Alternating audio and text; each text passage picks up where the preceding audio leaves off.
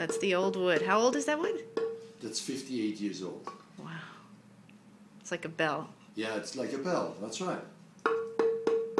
And how would new wood sound? Like this. Wow. So cool.